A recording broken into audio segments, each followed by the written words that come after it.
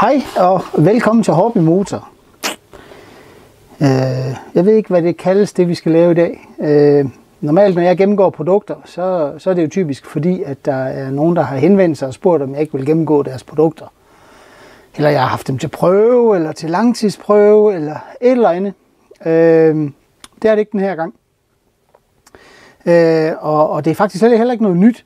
Så hvis jeg er begyndt at kede jer over at se en film med kattekillinger. Nej, spøg til side. Øhm, I dag skal vi snakke en lille smule om rust, eller rettere, hvordan får vi fjernet rust. Øhm, I den daglige trummerum med at lave sådan et almindeligt eftersyn på en plæneklipper, der er det her ikke så relevant. Men hvis man har noget aktivitet derhjemme, hvor man restaurerer maskiner, gamle knaller, der, øh, alt hvad der stort set er lavet af jern, så kunne det godt være, at den her video den er interessant. Hvorfor er det, at den heller ikke er ny? Jamen det er den, fordi jeg har faktisk vist det før. Men øh, nu er der sket lidt sådan ude i den store verden, som jeg er blevet opmærksom på. Og øh, så tænkte jeg, nu er det nu, jeg slår til. Og så, øh, så deler jeg det med jer. Øh, jeg har, det er til lavet til formålet. Det her det er et stykke sort jern, som øh, jeg for tre uger siden øh, præparerede med en blanding af eddike og salt og vand. Sådan rimelig korrosivt. Og, øh, og så lagde jeg det udenfor. Så I kan se, det er, det er jævn rusten. Det er ikke dybde rust, øh, men øh, alligevel, det er ikke sådan, det bare lige går af, fordi man gnider på det. Så øh, man kan man fjerne det? Okay, ja, der er mange måder. Der er den gode gamle stålbørste, Øh, det kunne virke godt på sådan et stykke metal her, hvis man skulle til at svejse i det eller noget. Men en gang imellem, så sidder rusten jo også, i hvert fald her i mit værksted, inde i benzintanke. Og øh, om det er benzintanken på en gammel Puk Maxi, eller det er benzintanken på en plæneklipper, det er sådan set lige meget. De kan ruste. Dem, der er lavet af jern i hvert fald.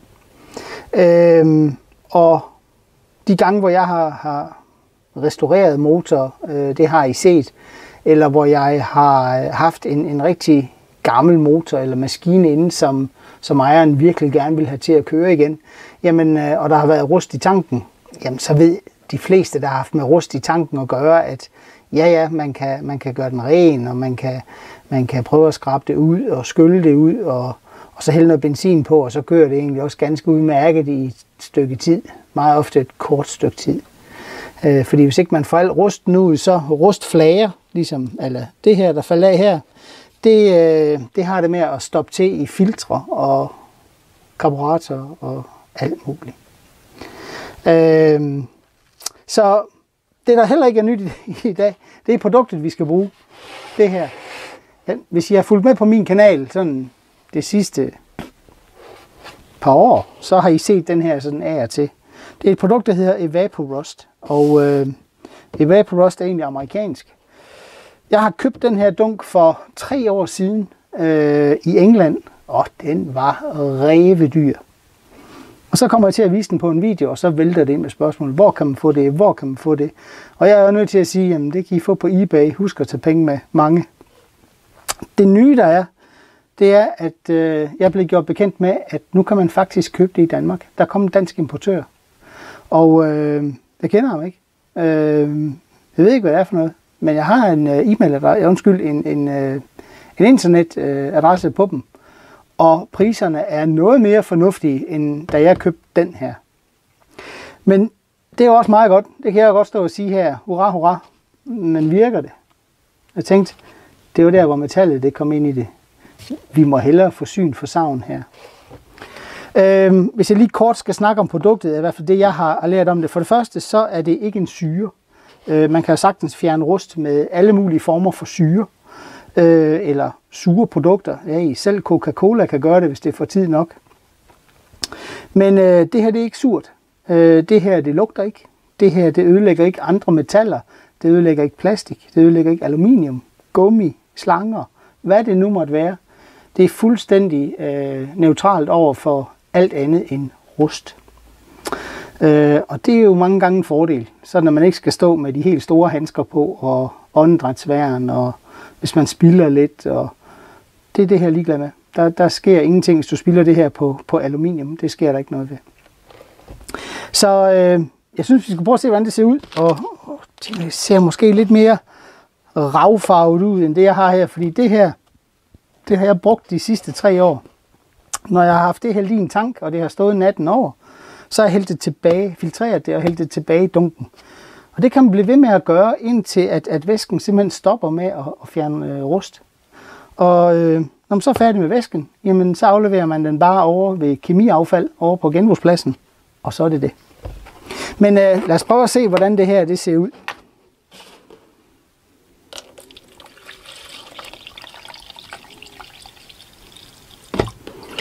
Sådan.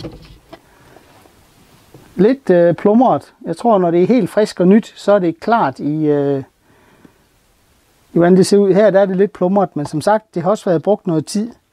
Når man døber fingrene i det, øh, I ved godt, hvordan det føles, håber jeg. Hvad det sker, når man får syre på fingrene eller stærk base, så, så bliver det sådan helt glat. Det her, det virker fuldstændig ligesom vand. Det, øh, det lugter stort set ikke af noget. Og når det fjerner rust, så afgiver det heller ikke de her grimme dunste, som, øh, som syreprodukter kan gøre. Men som sagt, vi skal have syn for savn, så øh, det der sker, klokken den er nu 17.35, og 17.35, og det er fredag. Og øh, vi tager simpelthen vores metal, sætter det her i, så det være forsigtig, så jeg ikke splasker med det. Og så har jeg lige sådan et låg, jeg har skåret til her. Og hvorfor gør jeg det? Ikke at det gør nogen forskel, men så fordamper der mindre af produktet. Og som sagt, jeg har givet gode penge for det her, så jeg skal helst ikke fordampe for meget. Og det fordamper med samme rate, ligesom, ligesom vand. Nu tager vi den her, stiller den her over, og lige om lidt så slukker jeg kameraet. Og så ser vi til den her i morgen formiddag.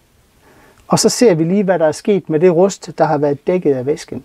For, øh, for at det virker det her, så skal øh, rusten være dækket af væsken. Man kan ikke, øh, det her det kan man ikke pensle på, og så forvente det virker, fordi så fordamper væsken for hurtigt.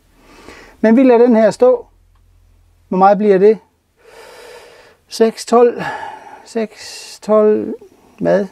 Lige knap et, nej, et lille døgn. 120, 18-20 timer eller sådan noget. Det passer vist meget godt. Og så, øh, så mødes vi bare lige igen, når vi skal have den her op. Jamen, så er det blevet lørdag, og klokken er, skal jeg lige se, lige lidt over halv 11. Så øh, det her, det har været, øh, det har stået og, og hygget sig øh, natten over i, hvad er det, hvad vi er på, en 17-18 timer, noget i den stil. Så øh, lad os prøve at se, hvordan, øh, Hvordan til? Jeg har bare lige sat det her øh, gamle håndklæde om, simpelthen for at undgå, at, at der skulle ske noget, øh, noget fordampning. Men ellers, så er der sådan set ikke gjort noget som helst. Hvis jeg lige tager jer herned, I prøver at se, øh, jeg ved ikke om I kan se, må I lige gå lidt tilbage, men væsken er blevet en lille smule mørkere. Øh, og det er også helt naturligt. Jo mere man bruger den her væske, jo mørkere bliver den. Men det sjove, det var jo, hvad, hvad med det metal, der har været nede i væsken? Så øh, tager vi lige den her op, så har vi noget at tørre af. Er I klar?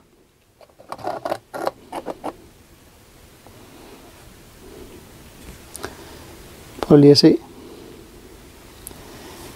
Der er ikke rust tilbage. Der er lige så noget sort jernoxid.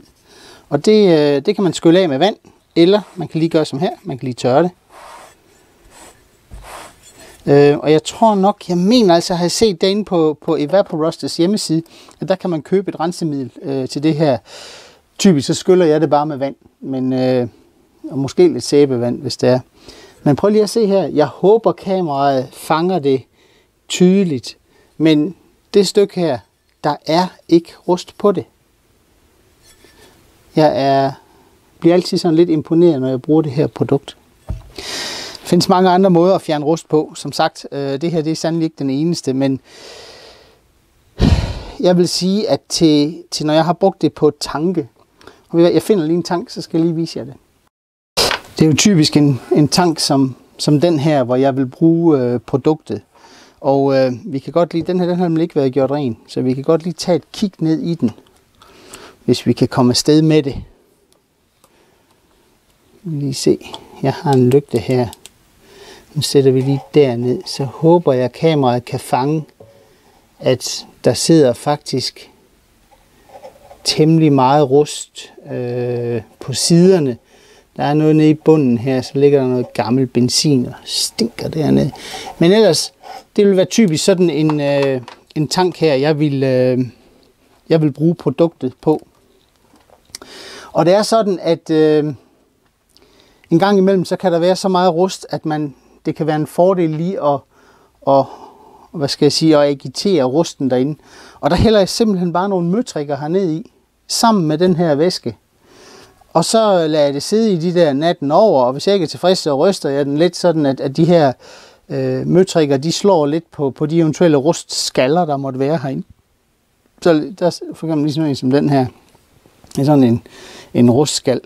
Øh, så slår man lidt til dem, så bliver de slået af, og så kan, så kan væsken komme, komme bedre ind og, og, og arbejde med, med at, at æde det her øh, rust og fjerne det. Men øh, jeg synes, jeg synes, det her det taler lidt for sig selv. Kunne man have gjort det her med alle mulige andre produkter? Og ja, det, det kan man. Øh, jeg synes bare, det er rart at arbejde med, fordi når jeg er færdig med det her, selvom det er blevet lidt sort, og selvom det er, skal I bare se, jeg genbruger det, og det bliver jeg ved med, indtil at det ikke virker mere. Jeg har sådan en trakt her med en lille si i bunden. Og så hælder jeg det simpelthen blot tilbage i, øh, i dunken. Og som sagt, det har jeg gjort i tre år nu. Så, så jeg synes jo egentlig, at I kan godt se, der sidder, der, der er lidt rustpartier, hvad det nu er for nogle partikler, der ligger dernede. Og filteret her, det fanger selvfølgelig også noget. Men øh, jeg har brugt den her i tre år, så, så det tager i betragtning. Er det så et dyrt produkt at anvende? Nej, det, det synes jeg faktisk ikke.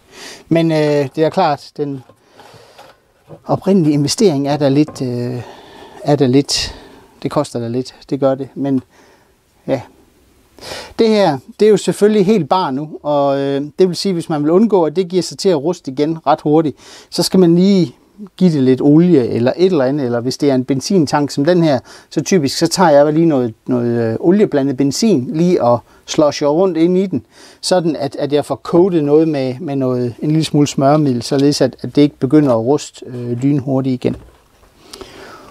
I teksten under øh, videoen, der ligger jeg linket øh, til det her produkt, så kan I selv gå ind og kigge på det. Det fæves i... Ah, ej, ej, I, må, I må ikke som sagt, det er jo ikke en produktgennemgang, jeg, jeg, har, jeg har sådan ligesom blevet bedt om at lave, så, men, men jeg mener, man kan få det i 1 liters, og så i de her øh, 5 liters dunke. Og øh, det eneste, I lige skal være opmærksom på, når I skal starte med at bruge det, det er, at rusten skal være dækket af væsken, øh, før den virker ordentligt. Så øh, hvis det er noget, I kan bruge til noget, så er noget her, så sig til. Øh, jeg, eller det behøver I faktisk ikke, fordi når jeg finder et produkt, jeg synes er rigtig, rigtig godt, så er det sådan set lige meget, om der er nogen, der har henvendt sig med det eller ej, så har jeg det med at vise det øh, her på kanalen. Øh, og jeg synes, det her det var for godt at, øh, og hvad hedder det, at holde for mig selv. Andre ting, det kan bruges til, rusten værktøj. Øh, hvis man får en tang ind, der har et uheld kommet til at være udendørs, jamen øh, så gør den lige ren med noget sæbevand først, så man får eventuelt fedtstof af. Smid den i sådan et bad her, lad den ligge natten over og se, hvad der kommer ud i den anden ende. I vil, øh, I vil blive ret imponeret over, hvor, hvor, hvor hårdt det går til værks det her for, på rusten. Yes, det var hvad jeg havde med den her gang. Det var ikke så lang en video, der var ikke så meget at skrue i, men forhåbentlig så kommer det næste gang. Øhm, hobbymotor lige så stille trisser hen imod at ramme 5.000 abonnenter inde så frygtelig længe. Øh, og har gået virkelig og tykket over, hvordan vi skal, øh, hvordan vi, vi skal gøre et eller andet, når vi når 5.000. Men øh, jeg tror, jeg har sådan en skummel tanke om, at I skal lidt mere involveres. Men det kommer jeg tilbage på en gang, når vi har passeret de 5.000, fordi et eller andet skal vi da gøre. Det er jo, det er jo helt vanvittigt og rigtig, rigtig fedt. Det er det. Jeg skal også huske at sige tak til de sidste nye abonnenter. Der er faktisk kommet en ordentlig klat her den sidste måned. Over 100. Og det er jo helt fantastisk, så øh, fedt, at I øh, abonnerer. Det er jo simpelthen så nemt at gøre det. Man trykker bare på klokken der lige under videoen, så og under notifikationer, så trykker man på alle, så er man abonneret. Kommer ingen regning, øh, ingenting. Det der kommer, det er en besked til jer, når øh, jeg uploader en ny video. Øh, så bliver I informeret på den måde, så kan I jo kan I gå ind og se det, eller, eller tage den næste, eller hvad I nu gør, når I ser videoer på, på YouTube. Indtil vi finder noget andet, forhåbentlig at skrue i, så må I selvfølgelig have det rigtig godt. Hej!